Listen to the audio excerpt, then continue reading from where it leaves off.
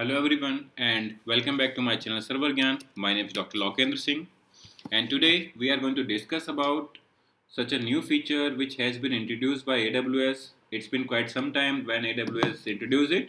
So the particular feature is known as AWS Transit Gateway.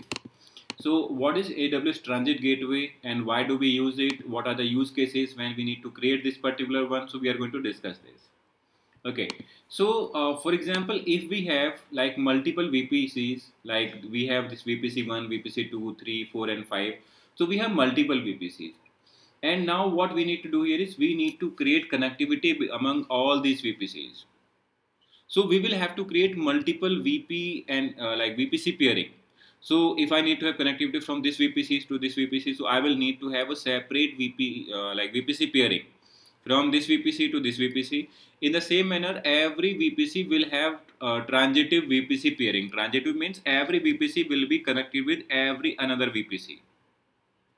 So if this has this is the case, for example, if we have like multiple servers we have, so uh, n into n minus 1 divided by 2, that will become the number of VPN connections or you can call it like VPC peering connection we will need to have in order to in order to connect these particular VPCs from one another.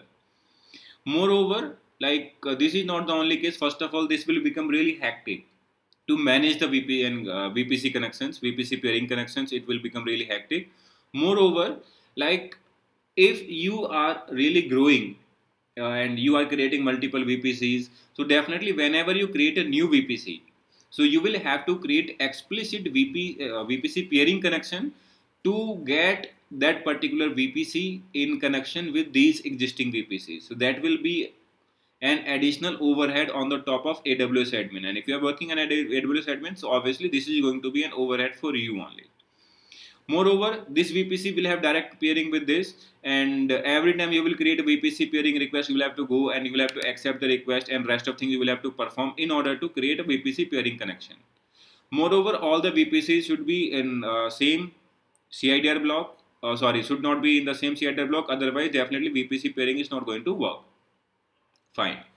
So, uh, why we are talking about VPC peerings and what is uh, this particular VPC peering and how we can overcome uh, you, uh, from this particular problem. So, let me tell you one thing that VPC peering has all, always been good and obviously this is working for small organizations. But for example, if you have 100 VPC in different account or maybe single account. So how would you manage that? It, it will become really hard for you to manage and when you want to have interconnectivity with, between all the vpcs so that is going to be really hectic thing for you. That is going to be really a mesh for you.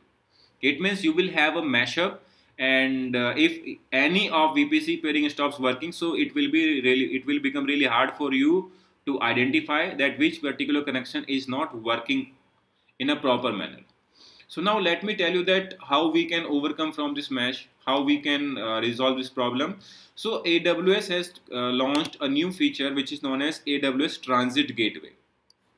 Now what is Transit Gateway? So Transit Gateway, uh, which is known as TGW, is a network transit hub that interconnects attachments, attachments like VPC and VPN within the same account or across account. So it means if you have these two VPCs in, in same account and these two VPCs in, in different account and you have created uh, TGW, it means transit gateway within any of these accounts, then it will be able to make a communication between all these four VPCs. Two are from one account and two are from different account. Fine. So how does it work? So it means, for example, when you have this particular uh, like you have VPC 1, 2, 3 and 4. So all the VPCs are in need to have only single connection with this uh, transit gateway and this transit gateway will be able to make you enable that you shall be able to uh, connect multiple VPC using single uh, transit gateway. This is such a service which will definitely provide you high scalability moreover high throughput it will provide. And obviously you need not to think about you need to worry about that how you will be managing resources. For example currently you have 100 servers within this vpc 20 server within this vpc maybe 200 servers here maybe 50 servers here. So if number of servers are going to increase or you are going to have multiple other vpcs so you need not to worry about what you need to worry about here is you need to worry about that how you are going to work with your VPC and this particular VPC uh, like for example if you uh, create a replica of this VPC and obviously that VPC is going to be part of this uh, VPC transit connection VPC transit gateway. So by default this particular VPC transit gateway will be associated with newly created VPC itself. So that is the beauty of AWS AWS Transit Gateway. So it means whenever new server is created, so it will have it will uh, it will by default have connection with this particular new uh, transit gateway. Fine. Moreover, like if you need to have connection with your OPDC, it means on-premises data center. So what it is going to do here is, so as soon as you will have uh, connection set up with your on-premises data center, so you will need to have one VPN connection that, that will be site-to-site -side VPN. So whenever you have connection established. So for example you have multiple subnets. So you will not be in need to have multiple VPN and multiple customer gateway multiple virtual private gateway. So you need not to have. So multiple VPGs uh, for getting in touch with all these VPCs and multiple customer gateways for getting in touch with this particular on-premise data center. Then after multiple VPN connection will not be needed so your single uh, AWS transit gateway will be able to serve you better. So obviously what this what uh, this particular is like interconnective interconnecting your VPC at scale. So uh, irrespective of your data transfer speed, irrespective of your requirement, irrespective of your number of instances you are running within your existing data center, or maybe in VPC account or in your AWS account. So uh, your AWS transit gateway works well. Then after consolidating your edge connectivity. It means you have only single connecting point and obviously number of VPCs can get interconnected using this particular transit gateway which is known as TGW. Then after flexibility with routing domain. So irrespective of your domain which are associated here within this VPC or which are associated here. So these will be uh, in communication, these will be able to interact from one another without having any problem using this AWS transit gateway. So this is how we work with AWS Transit Gateway. Moreover, if you talk about this particular uh, topology where we have this particular limit, so you can have approx 100 VPC peering connection. Then after uh, number of rule per routing table can be a limit.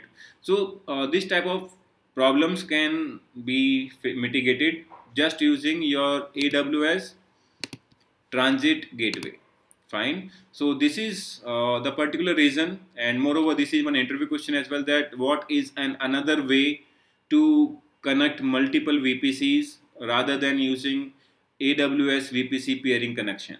Fine. So the answer is transit gateway. You can definitely connect multiple servers multiple gateways from different account from same account using AWS transit gateway. Fine. So this has been the theoretical part. So with the next video I will cover uh, practical of this particular video and this particular concept.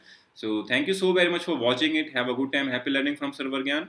If you have any questions, so please do write in comment box. I shall be happy to assist you for that. Thank you very much. Have a good time.